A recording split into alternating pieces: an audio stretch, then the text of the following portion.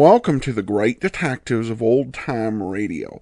From Boise, Idaho, this is your host, Adam Graham. If you have a comment, email it to me, box13 at greatdetectives.net. Follow us on Twitter at uh, Radio Detectives and become one of our friends on Facebook, facebook.com slash Radio Detectives. Before we get started, I do want to encourage you to support our listener support campaign. You can become a one-time supporter of the show at support.greatdetectives.net. You can also become one of our Patreon supporters at patreon.greatdetectives.net and support the show on a monthly basis. At the $2 level, you can support us at the rookie level. $4 is our Shamus level. $7.14 is a month is our detective sergeant level. $15 is master detectives and 30 is chief of detectives. And these contribute to long-term goals for our show such as a better server, a summer series, and the elimination of uh, commercial messages from the start of the show. And each level comes with its own uh, benefits, including um, special uh, tips and uh, monthly uh, email. Full list of available benefits uh, are patreon.greatdetectives.net. Well, now it's time for today's episode of Michael Shayne. The original air date is uh, August the 27th of 1945, and the title is Behind the Footlights. The Adventures of Michael Shayne, Private Detective.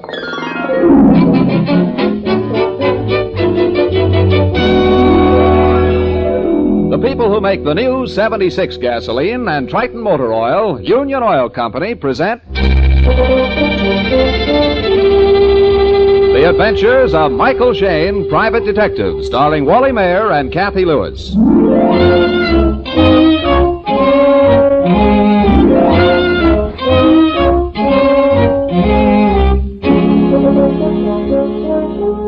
A detective as well known as Mike Shayne is in the limelight pretty much of the time. This evening, Mike is not in the limelight, but behind the footlights, or rather, he is just about to be.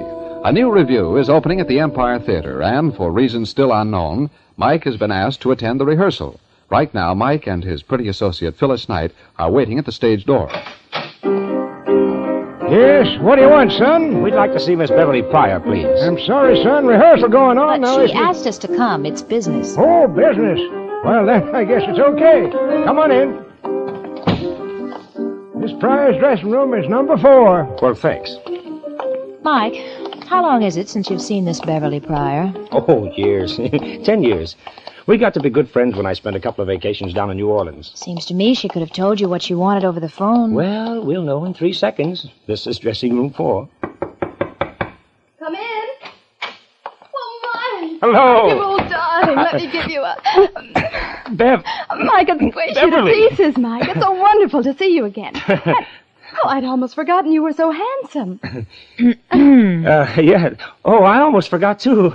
Phyllis, uh, I mean, uh, Beverly, I want you to meet my. I mean, uh, I want you to meet Miss Oh, Phyllis. Mike, you haven't gone and got yourself married. No, Miss Pryor. Not yet. I'm Phyllis Knight, Mike's associate. Oh, uh, just in a business way. Uh, how do you do? Beverly, I didn't know you'd gone on the stage. Oh, I was always good at dancing. You remember, Mike. I've got a specialty number in the revue. Oh. South American dances, rumbas and sambas. Do you like my costume? Oh, sure. It's uh, very colorful. Shows off my legs very well, don't you think? Uh huh. You remember what skinny legs I used to Uh, have. Miss Pryor, Mike and I don't want to hold up your rehearsal. Oh, no, no, that's right. Beverly, you said on the phone that you were afraid of something serious happening. Somebody connected with your show. Oh, oh yes, I, I was pretty scared yesterday. But some changes are being made tonight, and, well, I think things will all straighten out now. Well, what was wrong? Well, maybe it was my imagination. We've all been so nervous and hot-tempered. Yes. Well, I thought somebody was planning a murder. Somebody would. Mm-hmm. What made you think so? Hiya, beautiful. Ready for your spot? Larry says you're going to follow Oh, come in, boys. I want you to meet an old friend of mine. Mike, this is our comedy team. Sweeney and March. Mike Shayne and Miss Knight. Hello. The salt sent to the pepper? Shake. How do you do? Just dandy, snug as a rug and a bug. you get the switch? Snug as a rug. All friends of Bev's, huh? Uh, well, you believe me, this little gal's going places. You know, this show's just third base for her. Next strike will be home plate, the Hollywood plate. yes, indeed. Sweeney thinks he can sell me to Hollywood. If he'd stick to comedy and forget the agent Now, you business. wait, you wait, you'll see I'll have Sammy Golden and Louis B. strangling each other for you. Hey, come on, Sween. We're late for our Okay, yeah, we'll be seeing you. Yeah, sure.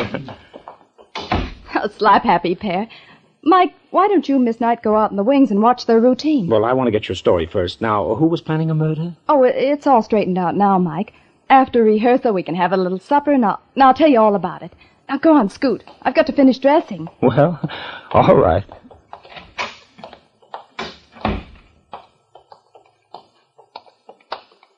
Well, what's the matter, Angel? Haven't you anything to say? Angel. Your vacations in New Orleans must have been very pleasant. Oh. yes, very pleasant. Did I miss a joke? you missed something. uh, the hotter a woman gets, the more she freezes.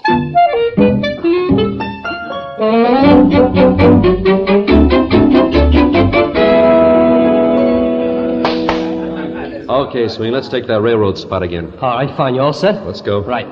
Uh, it doesn't really matter, Mr. March. Any train will do, but I must have a ticket for Hollywood. Well, I understand that, Mr. Sweeney, but I can't let you have a ticket unless your trip is essential. Eh, What sort of business are you in? Oh, well, I'm president of the 12 Flavors to a Foot Sausage Company. Twelve flavors to a foot sausage company, Mr. Sweeney?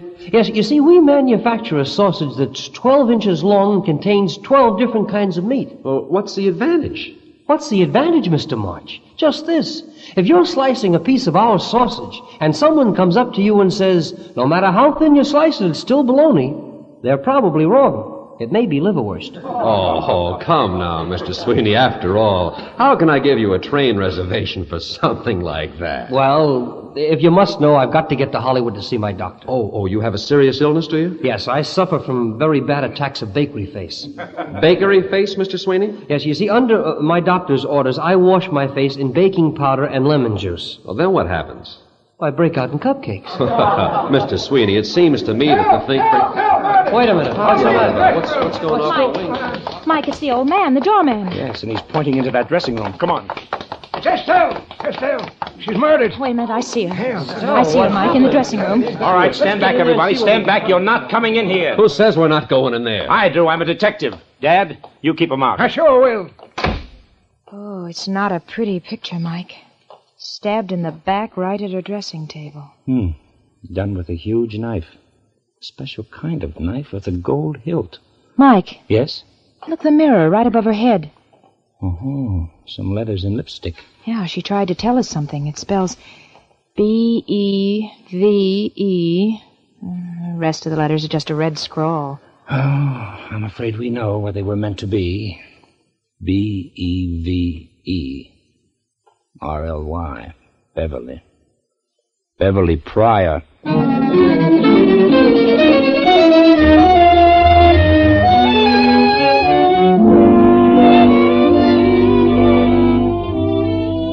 We'll return to the adventures of Michael Shayne in just a moment.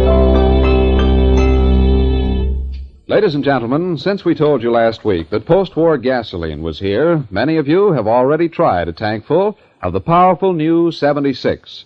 But just in case the Minuteman in your locality hasn't been able to supply you with the new 76 gasoline, be patient.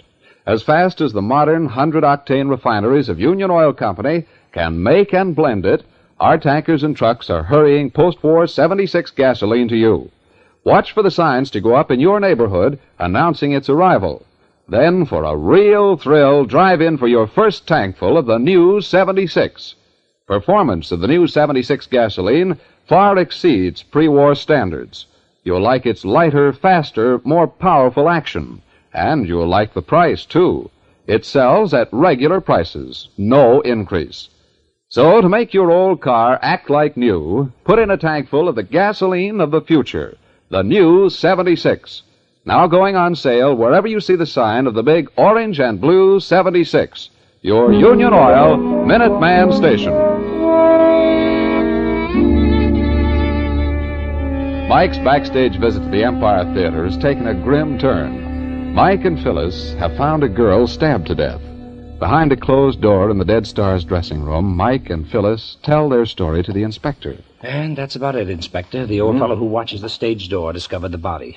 We were out in the wings watching a comedy routine when we heard him yell. The murdered girl is Estelle Caro, Inspector. She was the dance partner of Vic Hunter. Caro and Hunter, they're listed on the billboard. Yeah, sure, kids, but this gal Beverly Pryor, you say she called you here tonight because you thought a murder was cooking? How'd this Beverly know so much? Well, you see, Inspector. I see plenty. I see in that mirror right above Estelle's head the letters B-E-V-E written in lipstick. Estelle tried to write the name of a murderer. I was coming to that. Just give me time. Now, Phyllis checked through Estelle's purse, and according to Estelle's driver's license, she was five feet four inches tall. Mm-hmm. Now, I'm six feet tall, Inspector. Yet these lipstick letters are three or four inches above my head. Now, I've heard you, Inspector, lecture your boys on the squad. That a person will usually write on the level with his eyes. Sure, it's a safe generality. Well, then, Mike, you think somebody else wrote the letters B-E-V-E, huh? Some tall person to give us a false clue? That's possible, Phil, but we can't prove it. No, no, but I would like to see a woman who has been stabbed in the back rise clear out of her chair, take a lipstick, and scrawl some letters 12 inches above her eyes. All right. While we're on the subject of clues, what else have we got? Well, I searched her dressing table. It's just the usual stuff.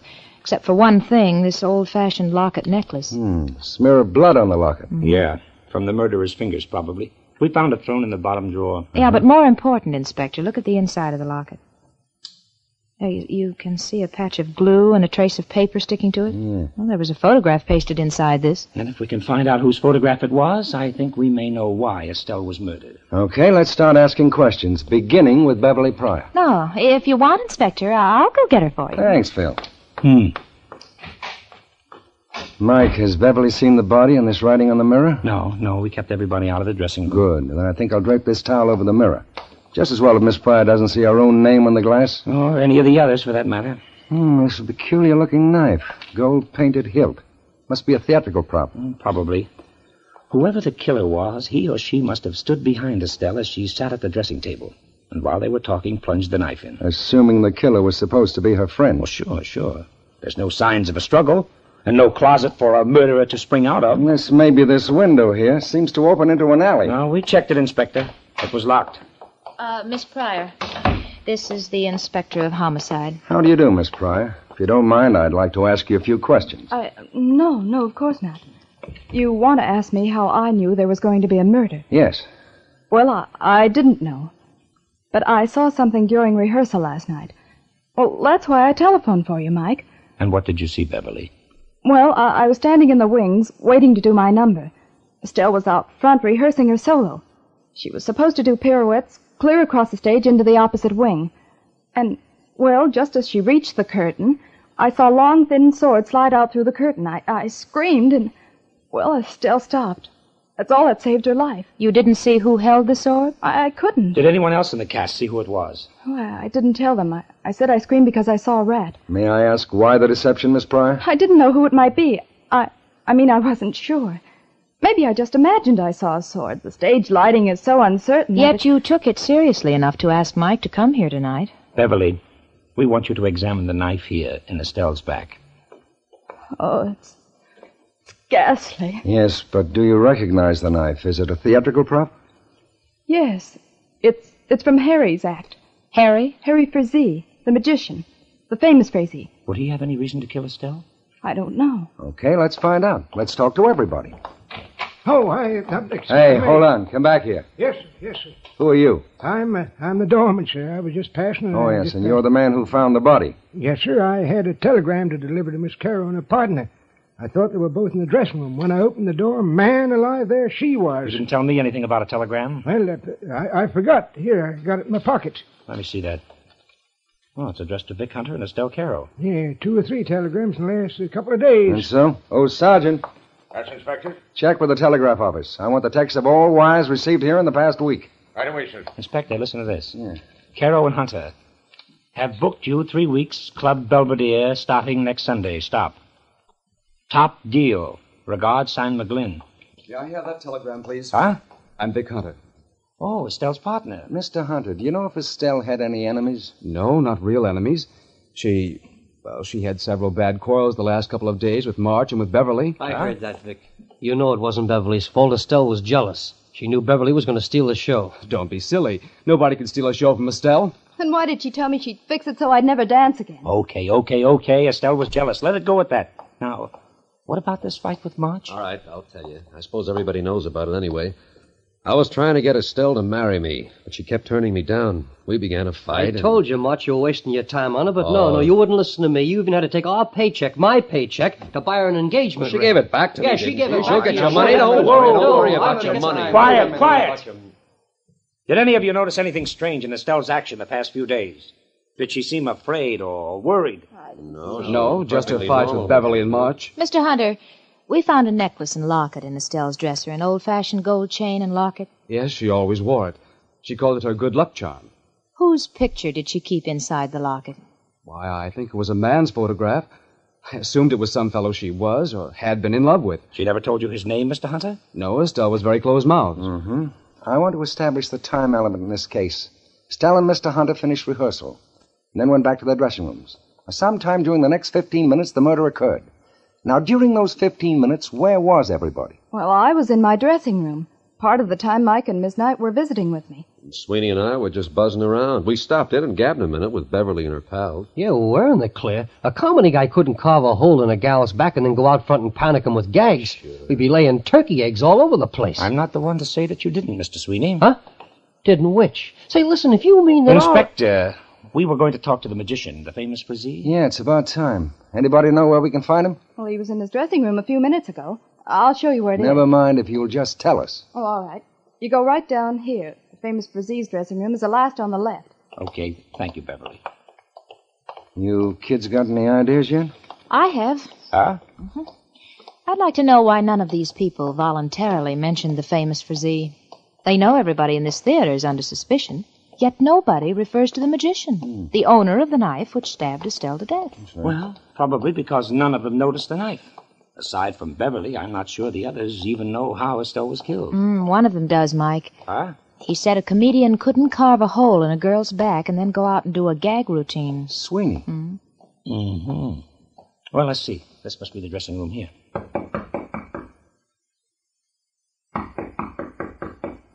No answer. Well, there's his costume on the chair, but no Mr. Frazee. That's blame funny. We haven't seen him anywhere around the theater. He's just disappeared. Mm, it's not surprising for a magician. hey, hey, that window curtain. It's blowing.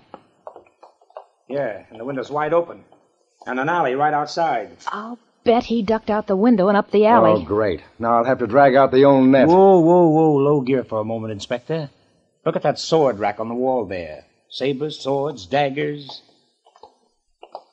Yeah. And several blank places in the collection. The rack is minus two daggers. The same type that killed Estelle. And also minus two swords. Swords. Ah. Oh, Oh, what, Angel? I just remembered. When I went out to get Beverly for you boys, I found her in Sweeney and March's dressing Yeah, room. and- I saw one of those swords on top of their trunk. Uh-uh. And last night Beverly saw a sword come out of the curtains intended for Estelle. Mike, Mike, Inspector. What's the Beverly. Beverly, what's wrong? I just got a phone call. A man told me he knew who killed Estelle. Huh? He asked me to meet him in my hotel room. I didn't know what to do. Well, I said yes. Could you recognize his voice? Well, I think so. He was trying to disguise his voice, but it sounded like like Harry Frazee. Frazee, swell. Then we know where to find him. Oh, I'm scared, Mike. Everybody in the troupe knows I called you in tonight because I knew something. Maybe he's trying to lure me outside. That's exactly what he's trying to do, Beverly. Now, you're going to stay right here. We'll keep that appointment for you. Give me the key to your room. Here it is. It's 905. Frazee is right across the hall, number 906. What time did he say to meet him? At 9.30. And it's 9.10 right now. Okay, Inspector, we've got ourselves a date.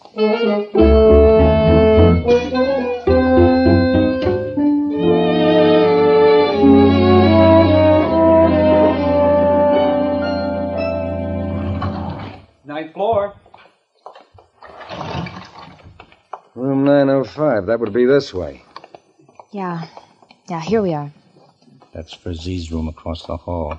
And a light shining over the transom. Okay, let's talk to him in his own room. We may get a chance to see something.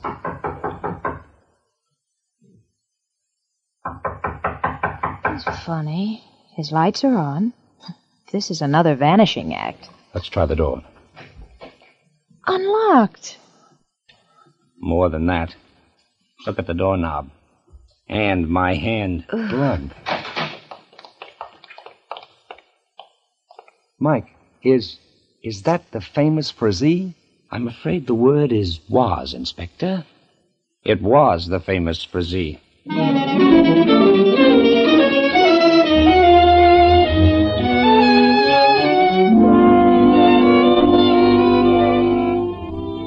In just a moment, we'll rejoin Mike Shayne in his adventures.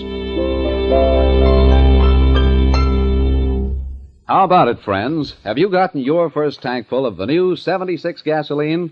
It's available right now at no increase in price at many Minuteman stations. The new post-war 76 is freshly blended from the huge 100-octane refineries of Union Oil Company. That means you're getting the benefit of the latest in war-proven refining methods when you get the new 76. Its lighter, faster action beats all pre-war performance. You'll notice the difference as soon as you come down on the accelerator. So for a real motoring thrill, get a tank full of the powerful new 76 gasoline. If your Minuteman doesn't have the new 76 today, please be patient. Our tankers and trucks are making deliveries with all possible speed, but some outlying districts of necessity take longer to supply. But whether you're able to buy the new 76 right now, or whether you have to wait a few more days, you'll find it the gasoline you've been waiting for. It's the new 76 gasoline, now going on sale at your Union Oil Minuteman stations.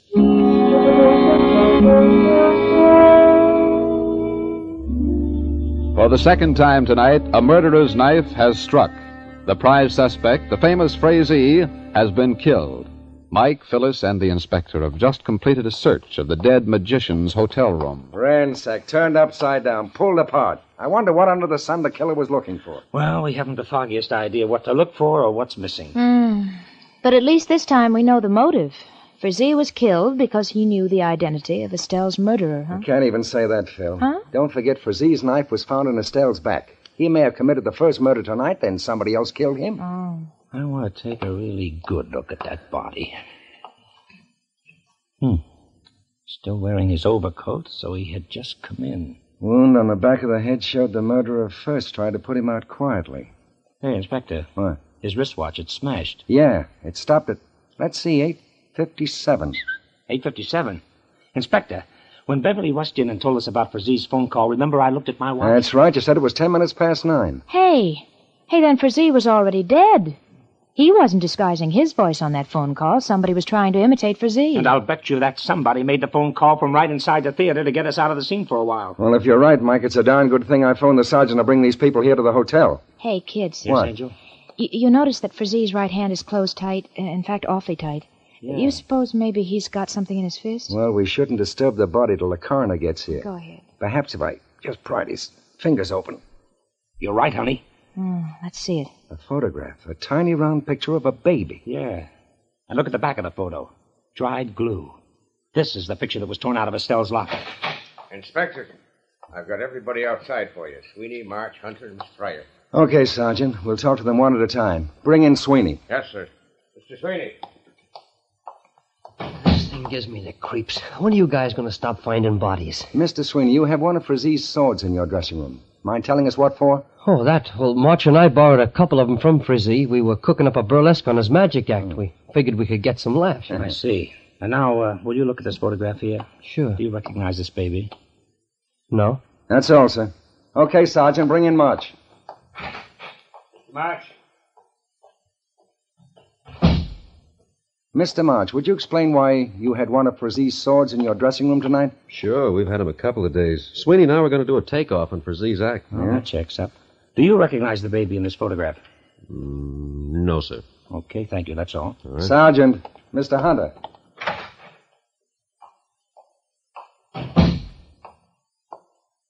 Yes, gentlemen? Oh, Mr. Hunter, we found that photograph which was missing from your partner's locket. You have? Good. Yes, yes. Here, this is it. A baby's picture. And as uh, we recall, Mr. Hunter, you said that there was a man's picture inside. Well, there was the last time I saw it. She must have changed photographs recently. Do you know who this baby might be? Not the slightest idea. Thank you. Mr. Hunter, will you send in Miss Pryor next? Oh, yes, Inspector. Yes, I will. Excuse me, Inspector. Yes, Sergeant. One of the boys just came from the telegraph office. Here are the copies of all the telegrams sent to the theater. Swell. Then hold Miss Pryor outside till we've read them. Yes, sir. Let's see. The first wire is four days ago from Chicago. Regret to inform you your father passed away last night. Stop. Will you attend funeral? Sign Norman L. Tyre, gang cop and tire attorneys. Oh, the second wire is a duplicate. Two days later. And the last is dated yesterday. No word from you, so funeral tomorrow. Stop. Have been named administrator of your father's estate. Stop. You are again beneficiary because of John Jr. Signed Norman L. Tyre. John Jr. Again beneficiary because of John. Well, maybe I'm crazy, but I say the baby in this picture is John. Wait a minute, wait a minute. Back at the theater, I asked everybody if Estelle acted in any way peculiar the past few days, if she'd been frightened or worried. Yeah, and they all said that she was not upset. Well, then that's our answer. Inspector. Yeah, Mike. Somebody had better go back to the theater and pick up Dad, the old doorman.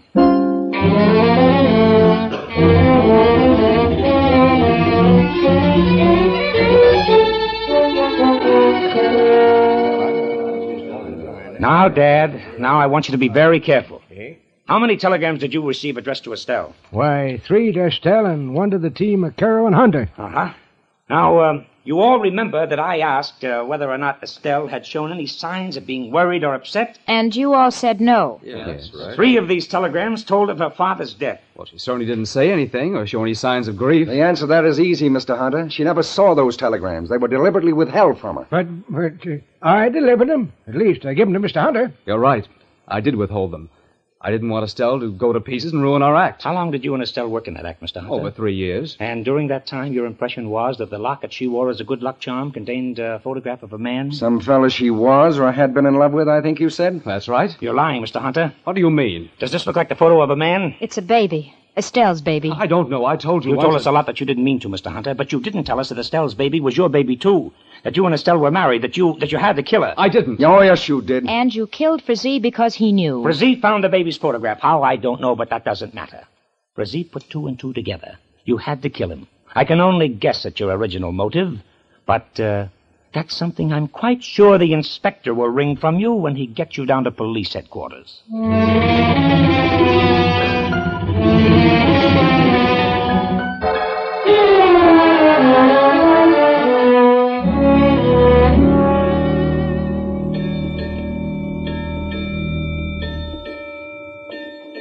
There it is, Angel. I know, Mike, but I still don't see how Hunter could expect to get away with it.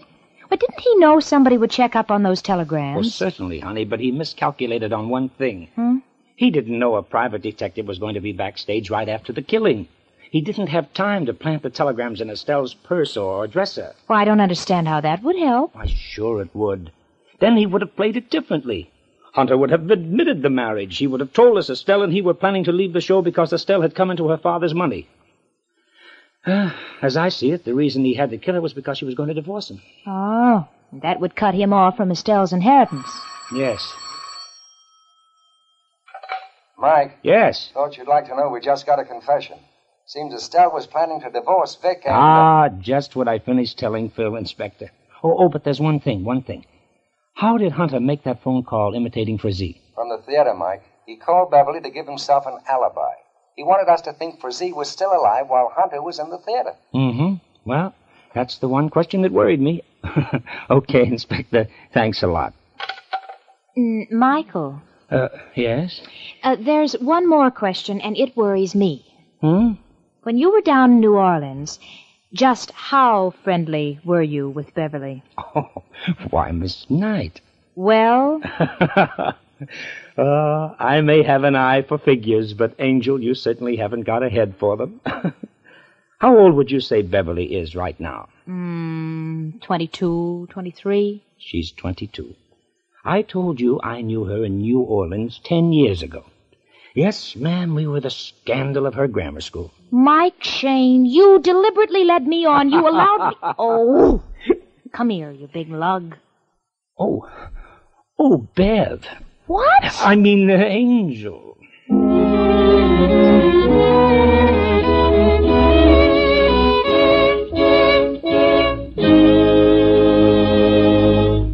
Remember, friends, the new 76 gasoline will give you a driving performance that will make you think of jet propulsion. Watch for the signs to go up in your neighborhood announcing the first shipments at your Union Oil Minuteman stations. Then, for a real thrill, drive in for your first tankful of the powerful new 76 gasoline, freshly blended from the huge 100 octane refineries of Union Oil Company. Now going on sale at your Minuteman stations.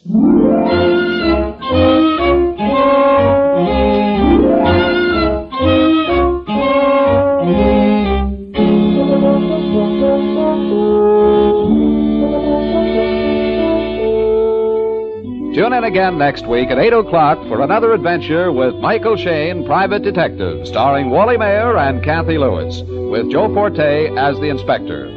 Tonight's story was written by Richard DeGraff and based on the character created by Brett Halliday. The characters of Sweeney and March were played by the comedy team of Sweeney and March. Music was composed and directed by Bernard Katz. This is John Lang saying goodnight for the people who make the new 76 gasoline and Triton motor oil. Union Oil Company.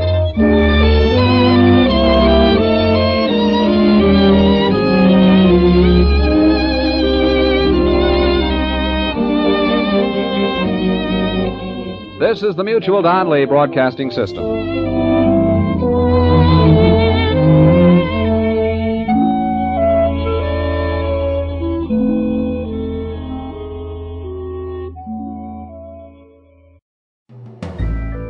This is Andrea J. Graham, author of the Web Surfer series. Oh, and a Madam's Wife. You're listening to the Great Detectives of Old Time Radio.